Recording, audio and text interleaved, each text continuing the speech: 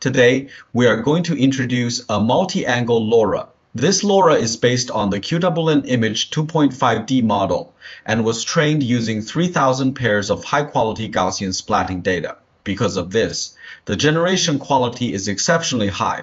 By using this perspective switching LoRa, we can dynamically switch a single scene into multiple angles, making the storytelling and visual appeal much stronger.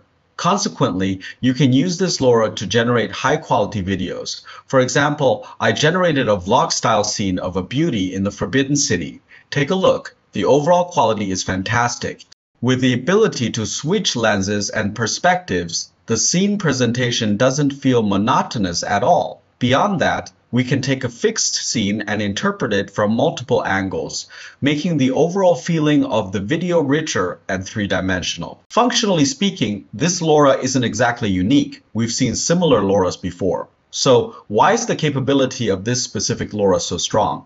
As I mentioned earlier, it was trained on over 3,000 entries of Gaussian splatting data. There is a key term here, Gaussian splatting. Once we see this term, we can judge that the quality of the LoRa should be very high. Why do I say that? Gaussian splatting is actually a 3D scene construction technology. For instance, whether we use a 3D scanner to generate a 3D scene directly or use video to generate a 3D scene, they often use technologies similar to Gaussian splatting. Take a look at this indoor video. This scene is actually generated using Gaussian splatting technology. Visually, it looks a bit like a 3D point cloud effect. Onsen this scene is constructed all the objects within the image or video become 3D objects.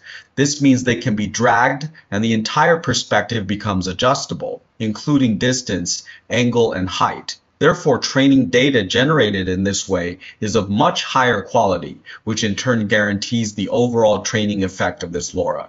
Another feature is that this LoRa supports 96 camera positions. This is quite amazing. How are these 96 positions derived? Let's take a look. There are three coordinate systems here. The first one represents distance. The triangle represents the camera, and the center represents the object we want to shoot. It supports three perspectives, far, medium, and near.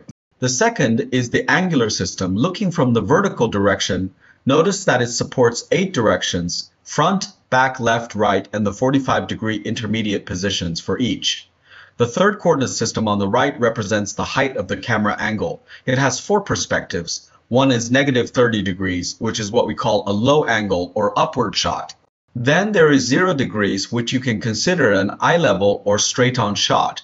Below that is 30 degrees, a slightly high angle downward shot. And further down is 60 degrees, a high angle overhead shot. If we combine these three systems, three distances, eight directions, and four heights, the total comes out to exactly 96 camera perspectives. You also need to master how to write the prompts. First, the trigger word is ICKC inside brackets. This is a special keyword. Then you add the keywords from the three coordinate systems. The first keyword represents the direction, azimuth. The second represents the camera height elevation.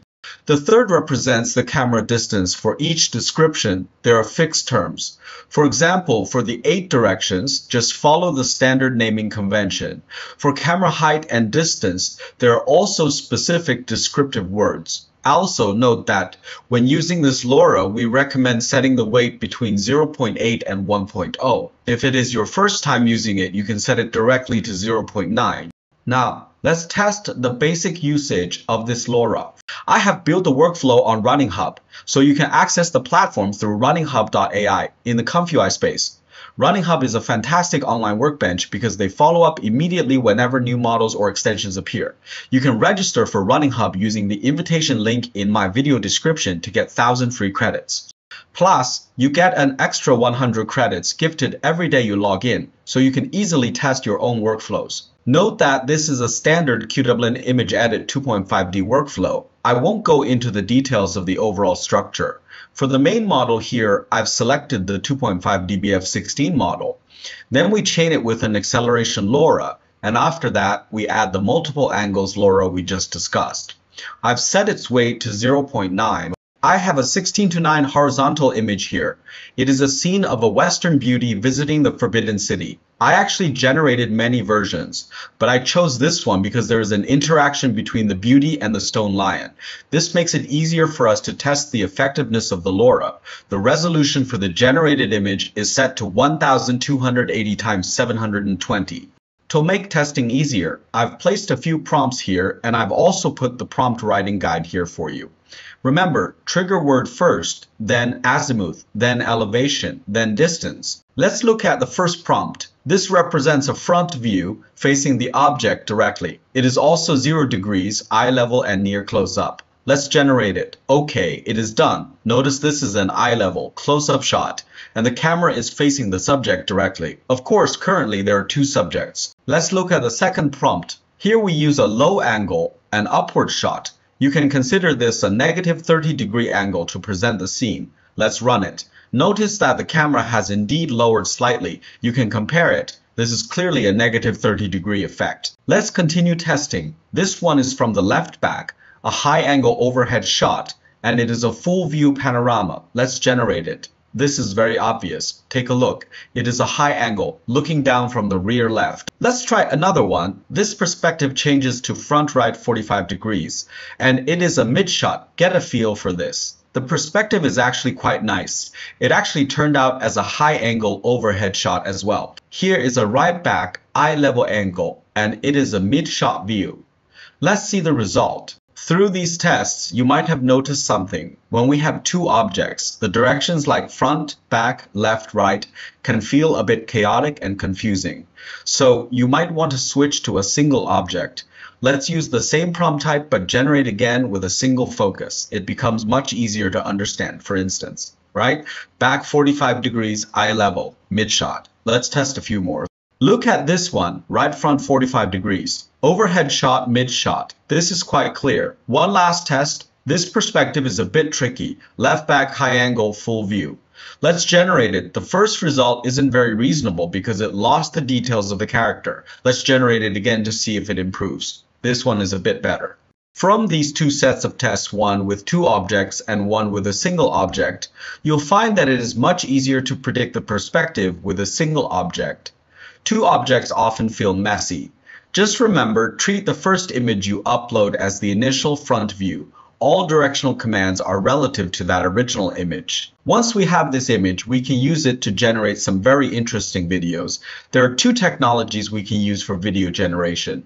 Image Gen to Gen video, IV, and Starkey end frames, keyframes. For Starkey end frames, we might use two images from different angles and let the model interpolate the frames between them to get a video. However, if you have this need, I strongly suggest you just use the image gen 2 gen video method instead. I've done a lot of tests on this. Once we have rich angles, we can describe a scene in great detail. For example, here is the scene I generated during testing of the beauty touring the Forbidden City. Look at it. The performance of each scene is quite good.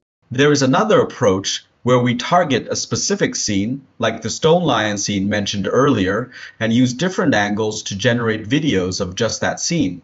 This makes the storytelling of the entire video feel much stronger. Why don't we recommend using the start end frame method? I ran two video generation tests. Take a look at this one. It goes from an overhead view to an eye level view. You'll notice the character appears to be walking backward. Of course, that is a problem with the model itself. But most importantly, pay attention to the background. It is constantly changing.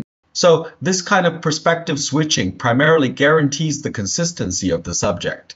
It can only guarantee the background is similar, not identical, so you end up with situations like this. I did another test as well. Look, the same situation happens. In comparison, the multi-angle image to video method gives a much higher quality feeling. I think the value of this LoRa is huge. I recommend everyone give it a try. That is all for today. Follow me to become someone who truly understands AI.